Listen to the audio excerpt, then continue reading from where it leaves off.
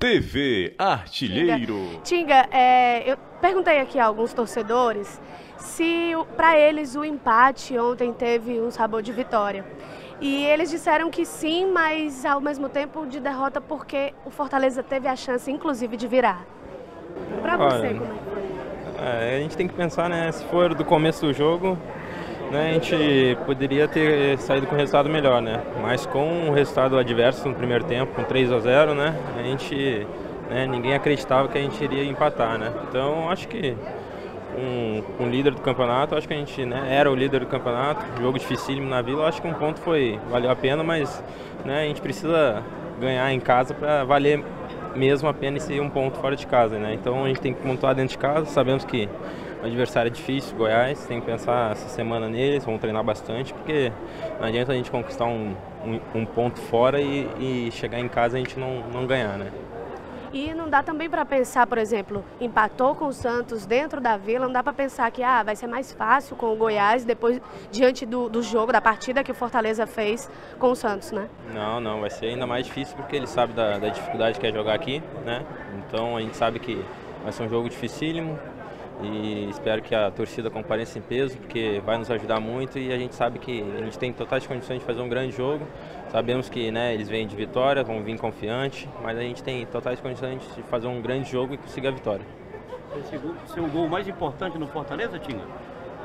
Olha, eu acho que, eu acho que foi sim, né?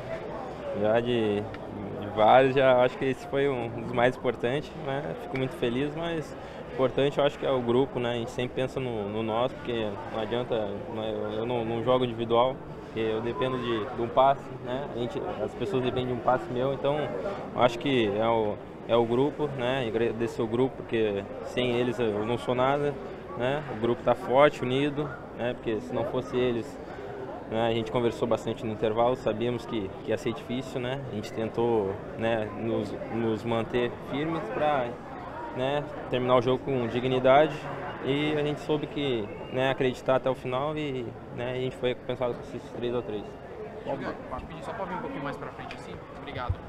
Vamos lá, vai. Qual o impacto desse resultado na semana de trabalho do grupo, Tinga? Ah, acho que é boa, né? Acho que dá mais confiança, né, para todo o grupo, principalmente para mim. Eu acho que fico muito feliz.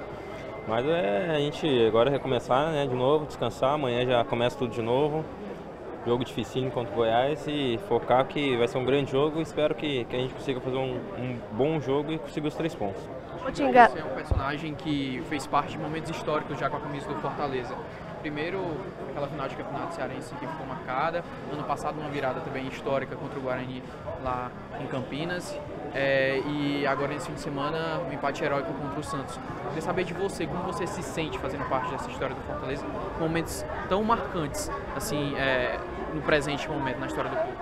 Acho que é uma honra, né? Acho que eu vim para Fortaleza, acho que o Fortaleza me escolheu e eu escolhi Fortaleza. Foi uma, uma coisa assim que só Deus sabe dizer, né? Porque eu passei tanta dificuldade desde o começo, 2015, eu vim para cá sem muito expectativa de nada e já no primeiro ano eu consegui um título, fazer parte de uma, né, um, um campeonato, título importante e depois voltar ano passado, fazer tudo que a gente conquistou.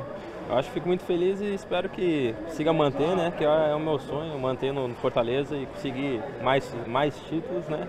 E grandes jogos como esse. Obrigado. Valeu, Tinga. Obrigado. Obrigado, viu? TV Artilheiro.